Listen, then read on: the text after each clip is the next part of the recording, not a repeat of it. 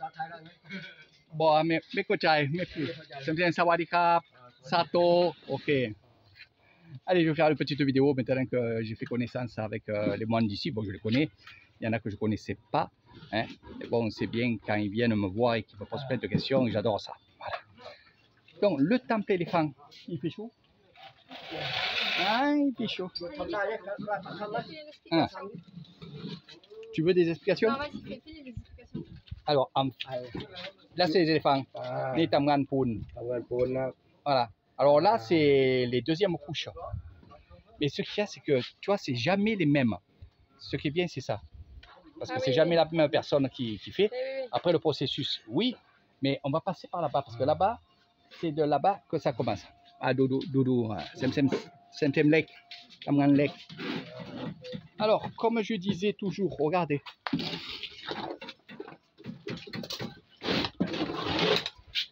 De la, de la ferraille, tu vois. Après, du grillage.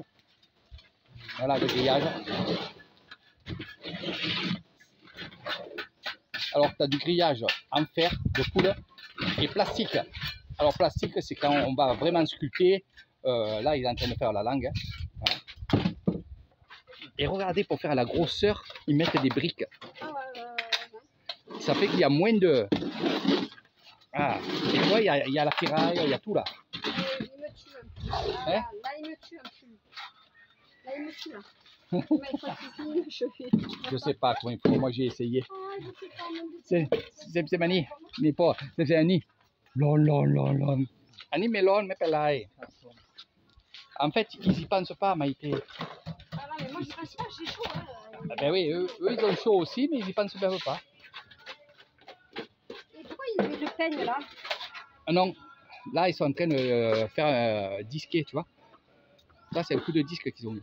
Non, mais pourquoi c'est rouge dessous Et après, le rouge. et le Ah ben regarde comment ils sont là-bas. Ah, mais il y a refond en fait, non? Ils en refont tout le tour. Ça y était pas, ça.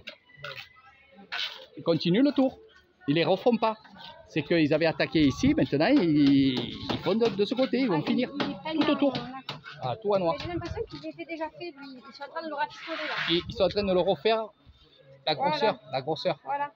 Ils veulent faire un gros ventre. Et là, regarde. Regarde. Ça, c'est pour faire les, pour faire ça. Une par une, une par une.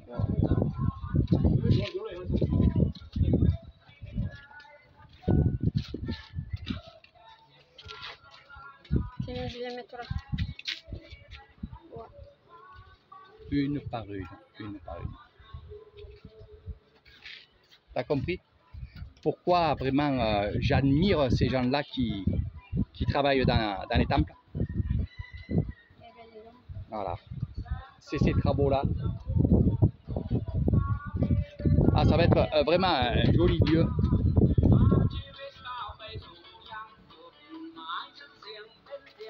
Voilà, là ils sont en train de faire ça.